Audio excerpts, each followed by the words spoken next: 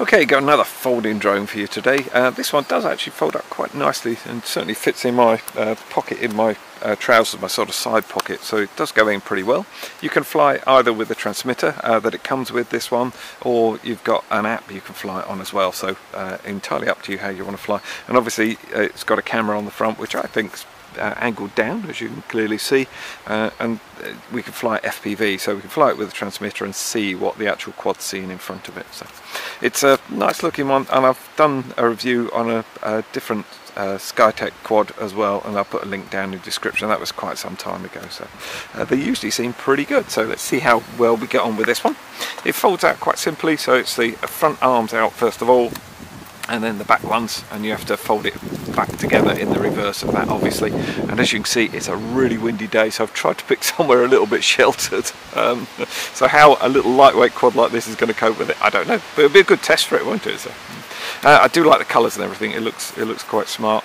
LEDs at the front and LEDs at the back. We'll run through that in a second. I'll just have a quick run through the transmitter for you. Uh, you've got uh, this little attachment here that actually just slots in, holds your phone uh, and then pops on the top there. And I'll put that back on in a second. And I'm going to fly both using the uh, transmitter and I'll fly using the app as well. Uh, run through the functions on the transmitter. It's a mode 2 transmitter which means your throttle is on the left hand side and also because both the sticks are centered it means we have altitude hold with it. So uh, the throttle's here, we give it some throttle, it will ascend, pull the throttle down and it will descend. If you, once you let go of the throttle it will go back to center stick and then it will just literally stay at that level but it won't stay uh, in one position. It's not GPS or anything, so it could drift with the wind or if the trims are out or anything. Um, and there's loads of videos out there on how to set trims. This is a bit unusual. You have to press one button and then use the other stick to actually set the trim in on this one. But uh, it's all explained in the instructions as well. But invariably, if you calibrate them, uh, you don't usually need to do any trims at all. I've found that with the majority of quads certainly. So that's your throttle up and down. To turn to the right, it's called yawing, you press it to the right and it will keep turning to the right. Push to the left, that's yaw to the left, so it's turning to the left. This is your direction stick, the right hand one. I'll swap over, so that would be forward, so the quad's camera is at the front of the quad. Uh, so push that and it goes forward, pull it backwards, it comes backwards. Push it to the right, it goes to the right, push to the left, goes to the left. And this one has headless mode on it, which uh, in normal uh, flying mode the front of the camera, the front of the quad is always where the camera is. So no matter what angle it's at, if you press forward, it's always going forward for the quad itself. If you uh, put it in headless mode, which is press this one, quick press on that, puts it into headless mode. If we bound it up here, so everything's facing that way, no matter what angle the quad's at, forward is always away from you, backwards towards you, right that way and left that way. And it doesn't matter even if you're turning the quad like that, and you put it to the right it will keep going to the right. So that's called headless. So there's no head in mode basically. Uh, to cancel that you simply press that quick press again. This is also your return to home button and you press and hold that for a second and then it will start heading back towards you ish uh, they're never great because it hasn't got GPS so it doesn't really know where it took off from. Uh, but uh, they do work um, ish. Um, but if it was past me and I pressed home uh, headless it could probably keep going that way sort of thing. So uh, but I don't think you ever fly these ones that far away. And you've got quite good LEDs on this one so you should be able to see it okay. If you want to flip it do your little stunts and uh, tricks with it you simply press this one here and then you choose what direction. So that would flip it to the right flip it forward backwards and left. Uh, and once you've flipped it once it comes back to normal flying mode then. And this one changes the rate and you simply press that and it gets into higher rate so it gets faster basically. So your, your pitch and your roll and, and certainly fighting against the wind you would need a higher rate but it also gives you a faster experience as well so to auto takeoff you simply uh, press this button here and that, that starts the motor then it will pop it up in the air and then you take control uh, to uh, calibrate it, you simply pull the two sticks down and to the right, you get flashing LEDs, and that must be done where it's on somewhere flat, and I'll show you that in a second anyway. To start the motors, if you want to take off manually, uh, you simply pull the sticks down and in, uh, down into the bottom like that. That will start the props, then give it some throttle, and then you're in control. And this is also an emergency stop as well. If it's in flight and you've really screwed it up and it's everything's gone wrong and there's, you know, it's not your day for flying, then you want it dropped out of the sky, bring these two down, and it will simply cancel uh, the motor signal, and it will literally drop from the sky, so you could damage your quad. So that's only an emergency stop. For normal landing, just pull the throttle off and it will it will descend. And you can still control where it's going to go with descending. And uh, once it actually gets on something that it stops going downwards so whether you hand catch it whether it's on the ground or a tabletop or anything then the motors will stop after about a second. So I'm going to pop the uh, FPV uh, the camera holder uh, sorry the phone I'm going to pop the phone holder back on. And uh, we're going to run through the startup procedure. So on this particular one, you turn the quad on first of all, and I know this uh, slab's pretty level, so I'm actually going to calibrate it here to show you how that works. Just hold that for a second. You get uh, red LEDs at the back and you get green ones at the front and there's virtually nothing from the side so um, but I do like it that they put red at the back I, I like that so uh, to uh, turn and then you, we turn on the transmitter you get a beep beep and as you can see the LEDs have stopped flashing. That means we're bound between the uh, quadcopter and the transmitter itself. There's one just other button that I didn't mention and that's this one here and that starts and stops your video if you don't have the Wi-Fi system. Uh, the Wi-Fi system you have to start and stop your video on your phone and I'll show you that in a second. So we're all bound up, we, we could be ready to go, but I want to run it with FPV so we can actually see what the, the quad is seeing and also we can record video as well. So turn your phone on and then uh, go into your Wi-Fi settings. Because we've already turned the actual quad on itself and, and I've actually played around with this indoors, it automatically has reconnected to, to this uh, Wi-Fi here. This doesn't use up any data roaming or anything, you don't need to be near another Wi-Fi signal. It basically just sets up a Wi-Fi hotspot here and we just link onto it. So it's just a link between your phone and your quad, so it's a really nice simple system. Let's go back to your home page and then the app for flying on this one is called Wi-Fi Go.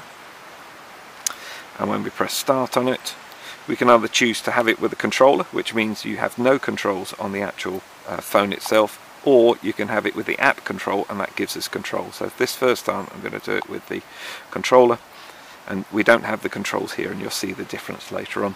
So we're all ready to go basically uh, start and stop the video is simply on here and if you want to take stills you use this one. And I've done a video on how to fly using an app and it's very similar to this one and I'll put a link down in the description for you. I just had to leg it indoors so you can see everything's wet now so. Highlands. Autumn. Gotta love it.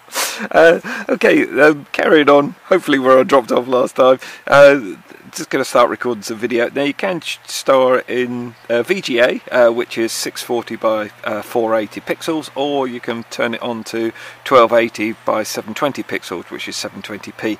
Um, the actual lens looks quite nice on it, so we'll actually see what the footage is like. So, but I'll give that my final bit in the review at the end. Let's start in the uh, VGA and just see how we go, and just just get going. So uh, to calibrate, pull the sticks down and to the right, you get a beep off the transmitter and you get flashing LEDs and that means the gyro is calibrated. You must do that somewhere flat uh, and level, level more than flat, sorry. Uh, must be level and don't move it while it's doing it and hopefully you'll get a nice clean flight then. So I'm going to start the motors and it seems to have a weird sort of thing. You've got to pump the throttle up and down and then back again. So this is in low rate. The good thing is the wind's dropped right out so Whoa, it's a fast flipper, so it, you just hold that button in. It only seems to flip, uh, yeah, only flips right and left actually. Hmm. Okay, so there we go. Uh, the FPV's working okay. Screen isn't that? Uh, it's quite blocky actually on the screen, but uh, it's not too bad. It, it is working. I mean, I can fly with it, which is rather good. There we go. I don't think I recorded my screen this time actually, so never mind. Yeah, that's not a bad little flyer. That's a full pitch in low rates. Let's just do a quick range test while we're on it. Uh, yeah, oh, that is quite low rates actually. That's a good, it's 50 metres there. Yeah, it's working okay. That's fine. I'll turn that around slowly. There's a tiny bit of breeze in the garden still, but not a lot. Ah, there we go. There's a rates. Button wasn't working there for a second. I was getting a bit confused what was going on, so sorry about that. There we go. So this is now in high rates, and again, nothing, nothing too energetic at all. it doesn't really do an awful lot more for it. It's just got a little bit more pitch and a little bit more roll, but it's really not an aggressive flyer by any means. It's got more pitch than it has roll, that's for sure. It doesn't seem to do much on there. Oh, well, let's change it up to... Oh, let's just stop the video. Perhaps I have to uh, stop the video and then we'll pop that up in 720p and just see what that does. I'll do a sort of similar flight up, up around the garage there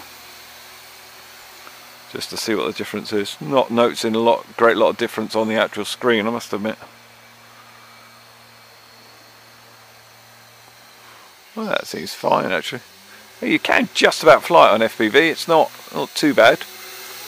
I was out of sight there, so you can see that it is working.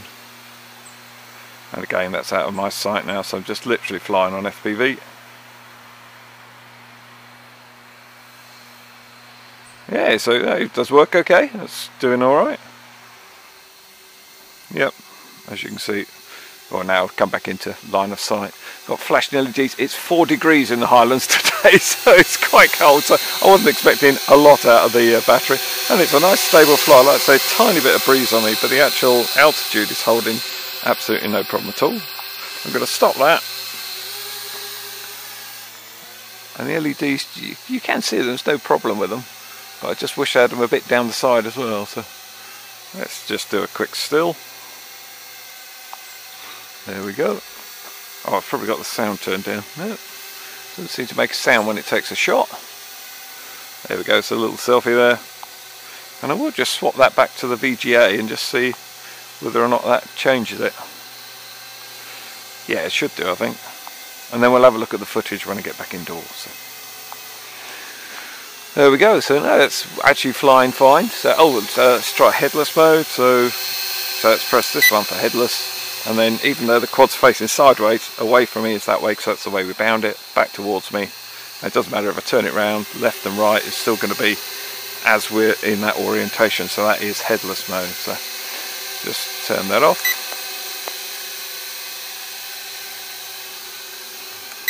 There we go. So now we're back to normal, so the front of the quad is the way forward is on the pitch. So let's try a return to home. So just hold that down for a second or so. There we go, and sort of going over there, and we took off over there. So uh, it is return to home is not really a great sign. So I'll perhaps show you I do return to home there, and it should in theory come back over this way. It's still going that way, you see. Whoops. Go on, recover. I did recover it. There we go. So uh, headless. If we were here and hit, uh, sorry, return to home, press it here, it would just keep going in that direction. It's sort of a general direction back towards you. So um, not really, not really working to be perfectly honest. But they don't unless it's got a GPS. It's very, you'd be very lucky if it came back. You'd have to be almost away from it directly in that way, and it'll come back towards you. So okay, let's. Uh, that all seems pretty good. I'll fly it on the app next.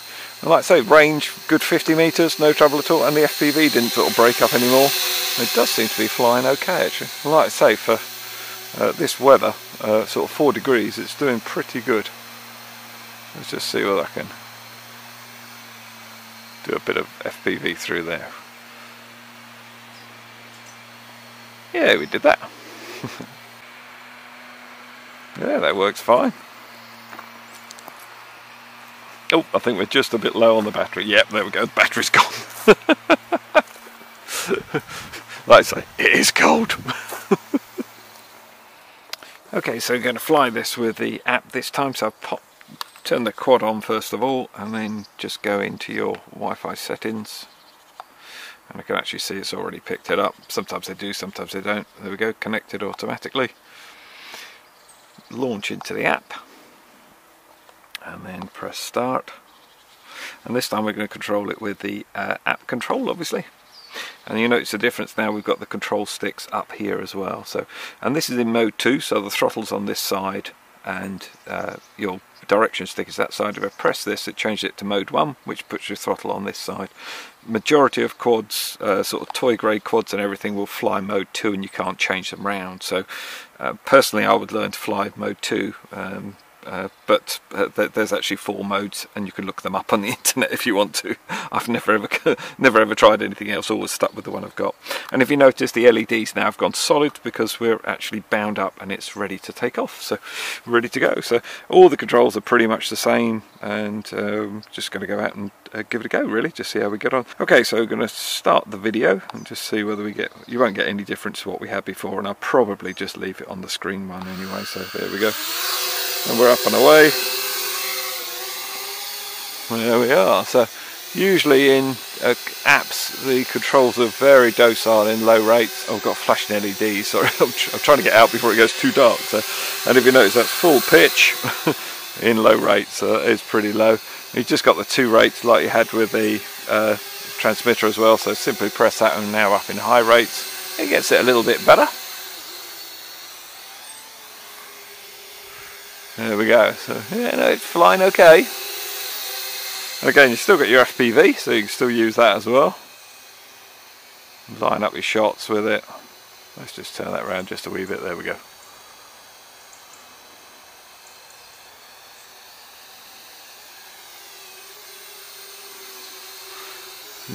I don't know whether because I've got cold hands, I'm not flying it particularly well.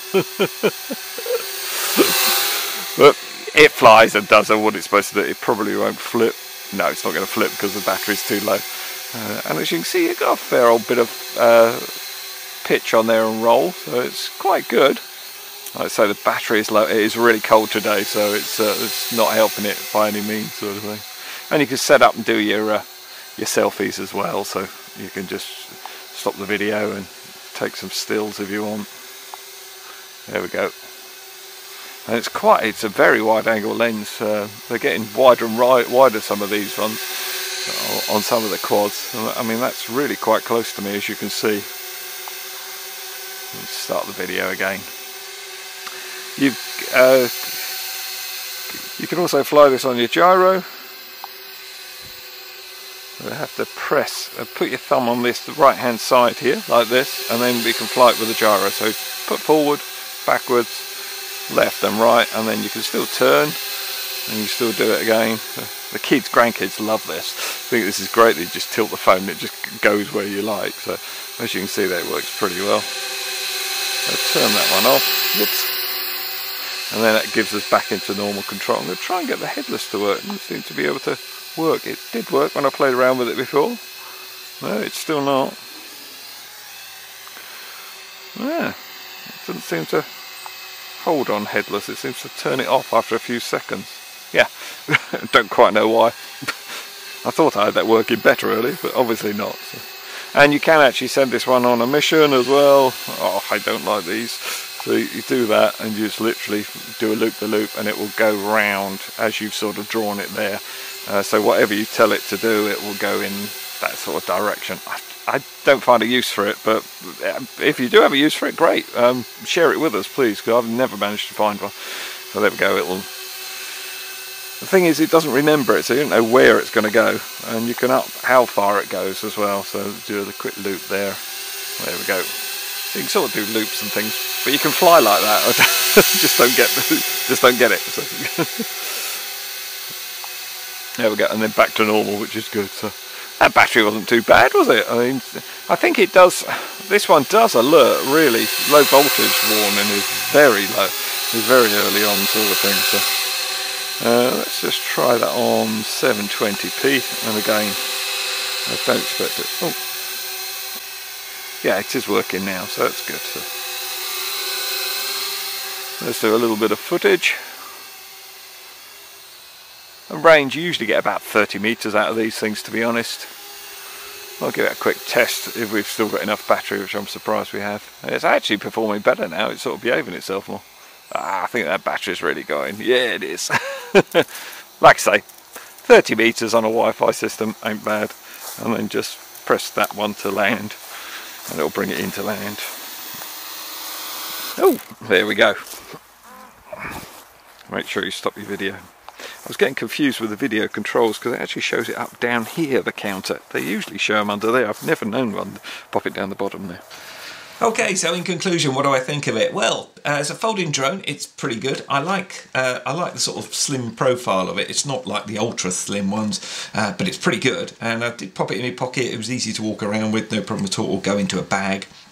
It's nice and lightweight and uh, the, the, sort of quick assembly is really a doddle and that gives you quite a little bit of stability then. It's quite nice. Um, it, it, flies flies well for a beginner I would say.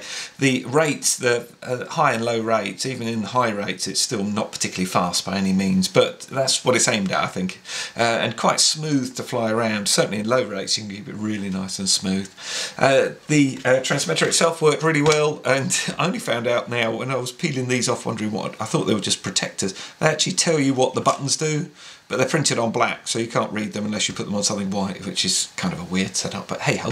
Um, the transmitter worked really well and the range was really good on it. It just uh, never really dropped out on me to be honest uh, when I tested it around the garden certainly so uh, no problem at all there with range. Even on the Wi-Fi the range was good. Uh, once it got going it was funny. Uh, you, you start up the Wi-Fi and it seems really laggy and it just seems to get better and better. And after a minute or so it seems absolutely fine. So uh, I have no reason for that at all. Uh, there are a few other issues with the app. And before I uh, go through those I'll uh, say I'm reviewing another one at the moment with an app uh, and it was pretty not working at all well. And uh, when I woke up in the morning there was a, an email come through you know app update or whatever. I updated it and it's fine now. So hopefully they'll, they'll get this nailed. If they did, it would be really good. Uh, right, my issues with it are the video just cuts out as and when it likes, or it keeps going and you don't know which it's going to do, and it's still counting up in the video as well, so it's a weird setup. Uh, the easiest thing is just to record your screen, and it's about the same quality to be perfectly honest. Uh, the VGA stays up for FPV a lot better than the 720p, obviously because of the amount of information it's drawing from it, but this VGA is, I mean, it's very low quality, uh, and even the 720p isn't isn't good, I don't think, in my personal opinion, but I do review a lot of drones. If you, you can see the footage I put uh, raw footage up, if you like it and think it's great, then that's fine. If you think it's awful and you're not going to buy it, then that's fine as well. It's you know that you've got to make your own decision. It's your cash. All I can do is review what I get given. So the issues with the app. Um, that's how it was. So uh, if they cure it, great. Um, the uh, I flew some F, quite a bit of FPV just playing around with it around the garden, and you can fly FPV much better than a lot of other apps I've had. They're too laggy, um, and, and, this one actually once it got going, it was absolutely fine. I could go between the trees and everything. So uh, it's got some good points there. Uh, what you get with it, you get spare set of props as you do with most of them. So you get spare set of props. I haven't damaged any yet. You get a little screwdriver as well little USB to Lossy Micro uh, charging port there and it comes with a little 500 milliamp hour battery and uh, which is, is fine and it gives you good flight times. The only thing is the uh, low voltage warning comes on so quick uh, you can then fly ages afterwards without any bother at all. So um, that again but I suppose they don't want you to run the battery out. But honestly, it just comes down so gently, it's really not a problem. I would just constantly run it like that without any problem. Uh, but the good thing about the, the battery, the battery bay area, is it's quite huge. So uh, the 500 just slops around in there. You can pop in a 600, which I've got old JJRC one there, or even a 680, and I've got a 700 milliamp hour one that fits in there. Still no problem at all, loads of room. So uh, you get much better flight times then, obviously, uh, with very little extra weight. So it's up to you. It's your dosh. Uh, you've worked hard for it, or however you get your money. Um, so it's up to you what you invest in. Uh, I think good little beginner one. If you're not too worried about uh, the filming and that, uh, uh, if you want to fly FPV, you can actually do it actually, um, and very cheaply, and you can carry it with you. So up to you. As always, uh, yeah. Thanks very much for watching. Um, good, old, good old thumbs up does encourage me to do a few more.